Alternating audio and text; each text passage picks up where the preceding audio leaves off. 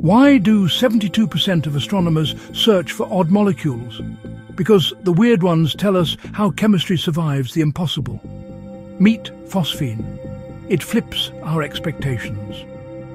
Using JWST's infrared spectrograph, scientists spotted phosphine's fingerprint, specific absorption lines that match PH3, not anything else.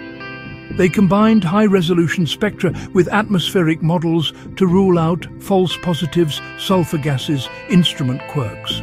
Why care? Phosphorus is a key life element, but in low metal brown dwarfs, like Wolf 1130C, it behaves differently. Hotter, reducing chemistry, deep mixing can produce phosphine without biological help. That rewrites how we think phosphorus cycles in extreme worlds and widens where chemistry can assemble life's building blocks. So even inhospitable objects could host surprising prebiotic chemistry. Like, subscribe and comment. Could life's building blocks be hiding where we least expect them?